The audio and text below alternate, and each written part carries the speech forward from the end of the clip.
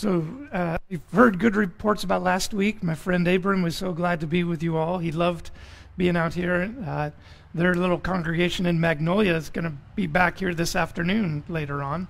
They take advantage of this space. We're glad to have them here. Laura and I were also really grateful to have some time together. Uh, one of some of our oldest friend, well, let's say longest term friends that we've known. Uh, well, Laura uh, met one during high school years, so many years uh, walking together. Uh, we spent some time with them. He, Dick, recently became an executive director at a, a camp and conference center right on Lake Tahoe.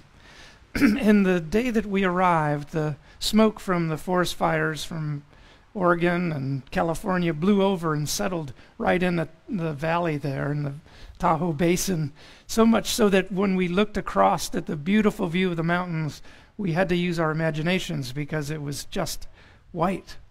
Every morning, uh, Dick and Colleen said, Oh, we so wish you could just see it. If you can imagine, they'd point out the, the line. Well, I, yesterday we did get a glimpse of those mountains, and today it's really clear just when we landed back again. One of my friends, uh, as we talked this week, said, well, There's a lot of sermon illustrations in there. Something about living by faith, you know. You know there's, there's stuff that surrounds us, beauty that surrounds us all the time. Sometimes we can only apprehend it by faith, though. Well, we're going to continue looking at the Sermon on the Mount in, in Matthew chapter 5. We're going to press in a little bit further. And we've been talking about, you know, Jesus said that unless his followers' righteousness exceeded that of the Pharisees and teachers of the law, they would surely not see the kingdom of heaven. And then he, he makes some illustrations, kind of graphic illustrations, really earthy stuff, very human emotions about what does it look like for your righteousness to exceed that of the Pharisees and the teachers of the law. In verse 21, he said, You've heard it said long ago that you shall not murder, and anyone who murders will be subject to judgment. But I say this anyone who is angry with their brother or sister will be in subject will be subject to judgment. Just anger of the heart makes you uh, uh, subject to judgment, he says. He moves on, he unpacks this further with today's passage. I'm going to read to you here it's uh, he kind of spells out what does it really mean to live not just by, by the fullness of the law. What does it look like? So, verse 27 of chapter 5, we pick up. Now, you've heard it was said that thou shalt not commit adultery. But I tell you that anyone who looks at another lustfully has already committed adultery in their heart. If your right eye causes you to stumble, gouge it out, throw it away. It's better to lose one part of your body than for your whole body to be thrown to hell. Or if your right hand causes you to stumble, cut it off and throw it away. It's better for you to lose one part of your body than your whole body to go to hell. Wow, this is some heavy stuff, gruesome stuff, really. Kind of passage my friends and I in junior high school used to show each other. We it looked like we were studying the Bible in those front pews, but really we were trying to gross each other out, you know? What does this mean? Well, we need to remember this that Jesus' radical instruction about the fullness of the law, with not one jot or tittle being thrown away, one, not one little dot of an I or cross of a T being uh, discounted until it's all fulfilled. Well, what is he getting at? Well, he's getting at this not the fulfillment of the letter of the law, but transformed hearts, like Sam read to us in Galatians. Those who live by the Spirit are not under the law. That is this those whose hearts have been transformed don't need to worry about following an external code. For our righteousness to exceed that of the Pharisees, it means this, really that the requirements of the law are met, but not by slavish subjection to an external law, but rather by an internal leading of the Spirit that comes from a transformed heart. That's beautiful, isn't it? And Jesus' invitation, er, invitation to us is this it's a, it's a dangerous thing, it's a radical thing, and I think it's the most exciting thing. Because he doesn't say, here's a program for living with six simple steps, or here tell 12 rules to follow to have a better life. No, he says this I want to remake you from the inside out. I want your heart to be remodeled and renovated and transformed such that you know the good grace and gift of God that you're anchored deeply in His love, so you know that you belong, so you can move in this world with the sense of confidence that the God who made all of this knows you by name and equips you to participate fully in this exciting world. That He's given us freedom to respond and to do His good will in this world in a way that shapes history, that loves our neighbors, that makes a difference in our communities, in a way we know we belong to one another. In effect, Jesus' project is sort of like that song by Lauren Daigle we just sang. When there are other voices that say we're not enough, when they say that we are weak, when we say that that says we don't belong. It's a transformation from the inside out that lets that happen. In some ways, Jesus' teaching here is about getting our priorities right. He says, in some ways, you can pay attention to things, even religious things, and get it wrong such that you, you miss out. He starts in this little passage about lustful thoughts. But in some ways, he's talking about not wanting enough. I think that is a, an issue for us. It reminds me of this passage from C.S. Lewis. He writes this He says, It would seem that our Lord finds our desires not too weak I'm sorry, not too strong, but rather too weak. We are half hearted creatures, fooling about with drink and sex and ambition when infinite joy is offered to us. It's like an ignorant child who wants to go about making mud pies in the slum because he cannot imagine what is meant by the offer of a holiday at sea. We are too easily pleased. How about that? It's almost as God saying, No, I'm not saying that you are um, you have too much des- uh, desire and so you look lustfully at one another. He says, rather, you don't have enough desire for the things that really satisfy. A, a, positive take on this same teaching is when Jesus uses the parables of uh, the, the fellow who finds a treasure buried in a field and he goes and he sells everything he has so he can buy that field and capture the treasure. Or a merchant who is on the hunt for precious pearls, and when he finds the most beautiful one, he sells everything he has, everything else takes second place so he can grab hold of that one thing. And in some ways, Jesus is saying this don't settle for second best. Don't just muddle your way through life or live in quiet desperation, hoping that somehow things will turn out okay. Or, as Lauren Daigle said, your life is the sums of its ups and downs. No, don't settle for that. Move forward and press into this radical, life giving, reorienting place of belonging and purpose and meaning. Yeah, but uh, we have to pause though for a minute and ask, but what about this the gruesome parts of this? You know, Jesus did say if your eye offends you, pluck it out. If your hand causes you sin, chop it off. You know, Matthew was really uh, taken with that saying of Jesus. He repeats it. Matthew uh, it shows up again in Matthew 18.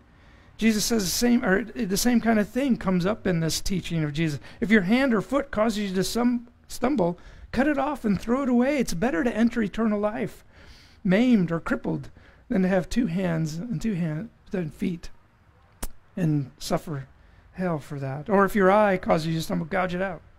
Well, you know, that, it is pretty gruesome. And, and I, but I think this, there's the, the tradition of interpreting this has said, well, Jesus is using hyperbole to show this is what really matters. Entering the life that God invites us into, that's on offer in Christ, is what really matters.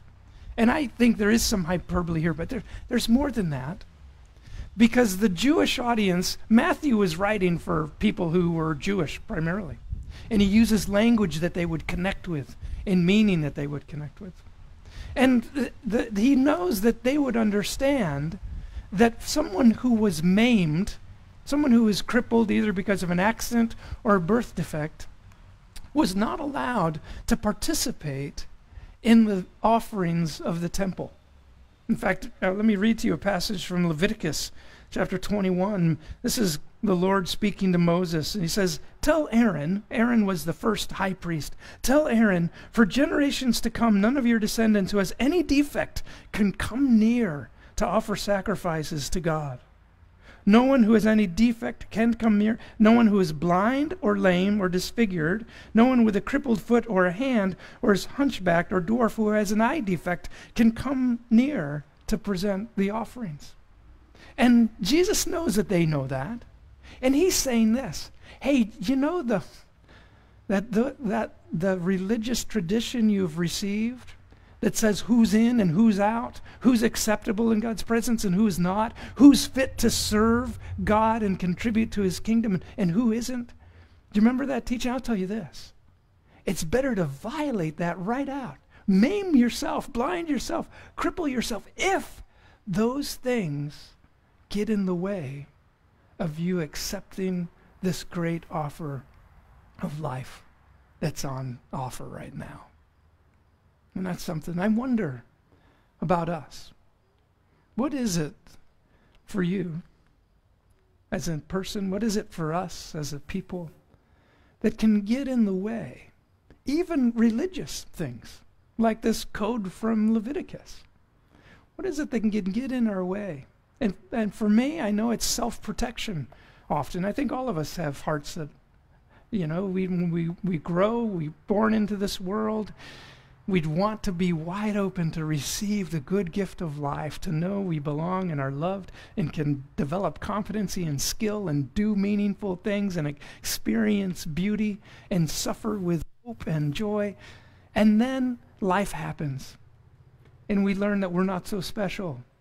And people can hurt us. And not only is there beauty, but there's some ugly stuff too. And we start to build walls of protection. They come in different forms. For some people, that wall is constant activity. For some people, that wall is being in control of everything so we can keep out what we don't want to see. For some of us, uh, the, my, this is a pet one of mine, it's wanting to be right and understand everything exactly, get it right. You know?